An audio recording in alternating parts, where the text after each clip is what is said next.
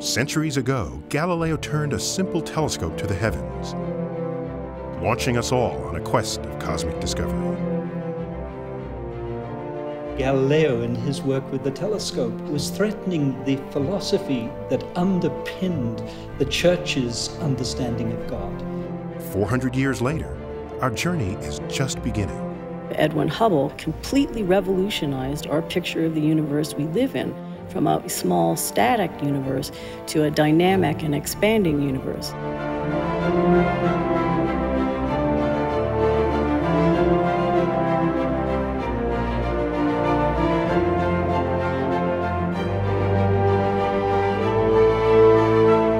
The sun supplies the energy that sustains all life on the Earth, and so it is extremely important for us to understand all aspects of the variability of the sun.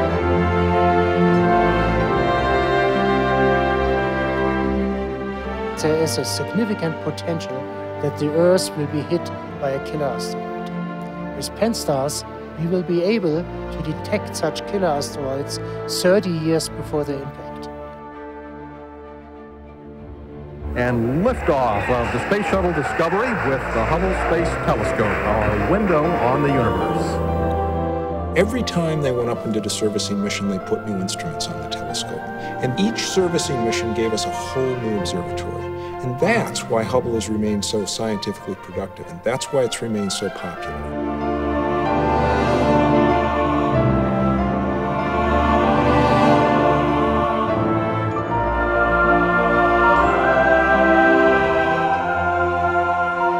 What I saw was really shocking. My computer program was telling me that the universe was acting like it had a negative mass.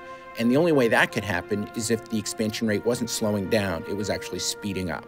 And that's when I had the first clue that something really interesting was going on.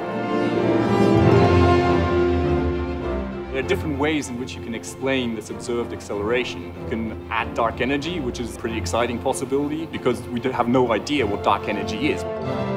In my opinion, we are on the verge of a revolution where we will have to rearrange all the information and provide a new vision of the universe.